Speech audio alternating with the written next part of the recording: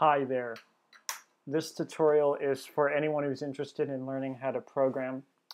And uh, as you will see, uh, I believe learning how to program means learning C first. And everyone else in computer science will tell you that learning C is too hard and too antiquated and you should learn something like Java to start with. And I think that's wrong.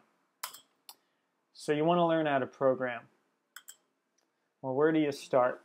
Uh, as I just said, uh, a lot of people will tell you, well, try out JavaScript or something that they consider easier. Well, um, that'll help you maybe, but uh, if you want to advance your career as a programmer or just become better than an average um, programmer on the market, I think it would make sense to actually learn um, not where you start, but where did it all start.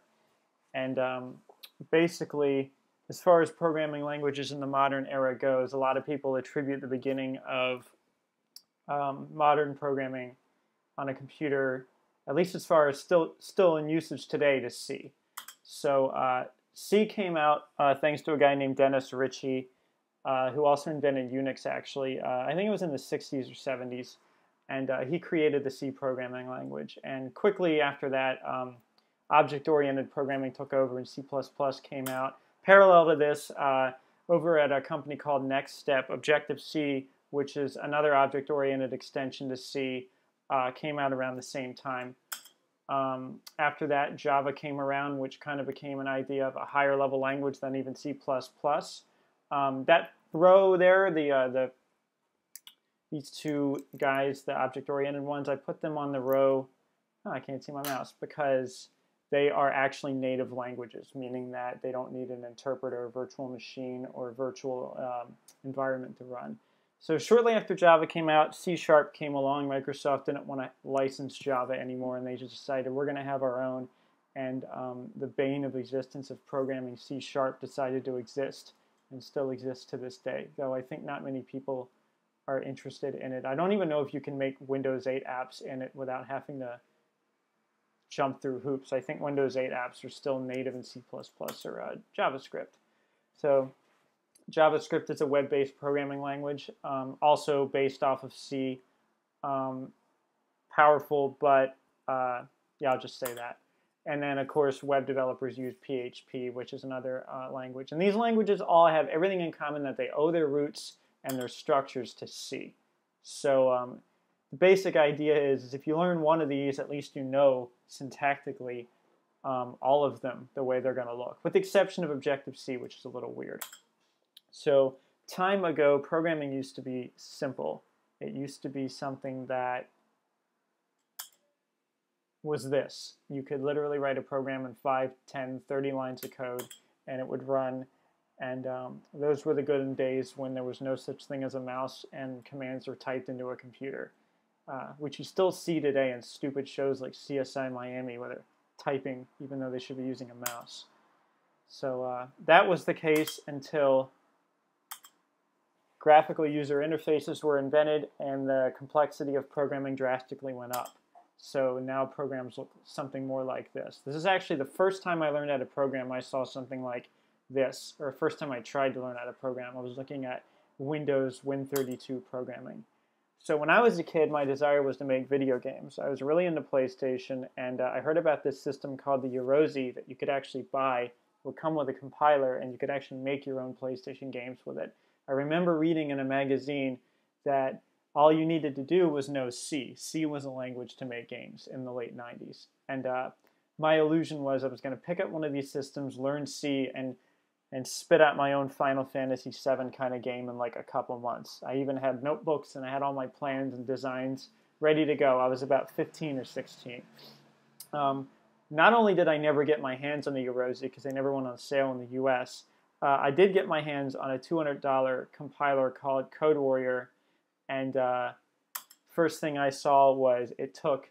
This is not even as much code. This is like maybe 20%, but it took about this much code to produce just a stupid window with the world Hello World in it. Not a game, no graphics, just an empty window on Windows 95. Uh, needless to say, I was pretty damn disappointed. Um, and I think I gave up at that point learning how to program because I thought it was just too hard. However, um, I persisted Um, I decided to try to learn just C when I found uh, some C graphics libraries and free compilers on the internet.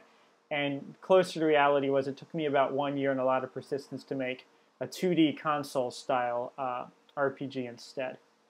Um, fast forward the clock six years later, when I actually learned a little bit more 3D technologies, I did get my 3D RPG, though in reality I never finished that. It took me about two years to make not even a half hour of gameplay. But um, I digress. So more reality checks. Uh, systems in general, iOS for iPhone, Windows, PlayStation 4, they're all getting more and more complex by the day, which means programming and programming languages are getting more and more complex.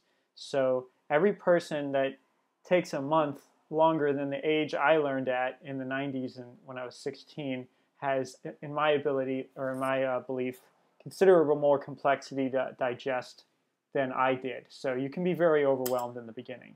So um, maybe instead of trying to start today at the top, it would make sense to start at the bottom.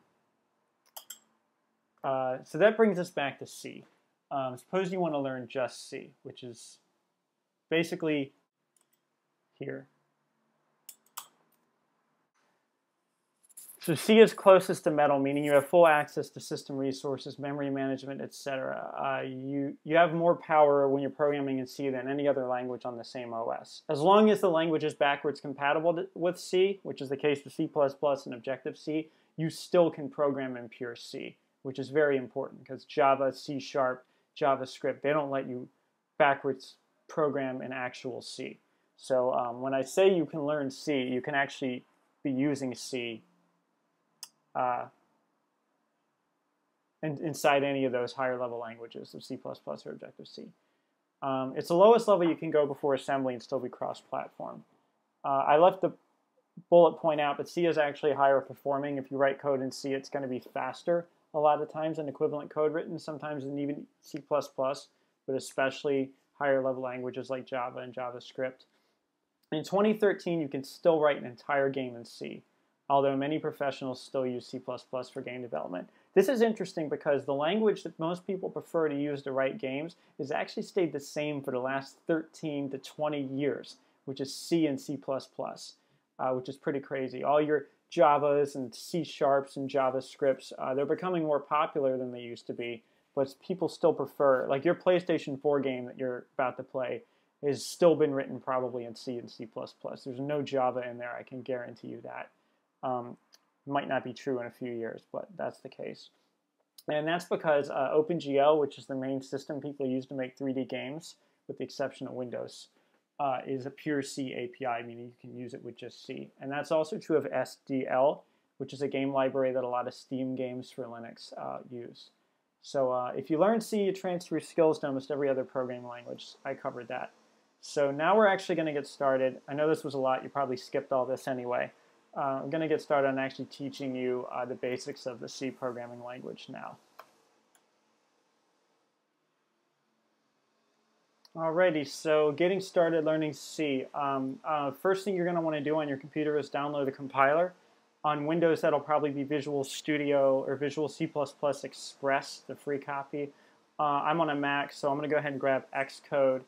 Uh, Xcode is actually not the compiler, it's the IDE, which is a wrapper around LLVM, but you don't need to care about that right now. Um, you're just going to grab Xcode, install it. it. takes quite a while to install, but um, you know, once it's installed, this is Xcode 5 by the way, once it's installed you'll be able to open it up. Uh, you might actually want to wait until it's ready uh, before you keep playing, but um, I already have Xcode, so I'm just going to go ahead and, and hit File, New Project, and uh, we're going to create a command line tool, which is under applications, so we don't get overwhelmed with complexity. And uh, I went ahead and picked C as the language. And I'm just going to give it a name and call it C testing uh, 1. We're probably going to make a bunch of these. And I'm going to throw this in my Xcode folder. And there it goes.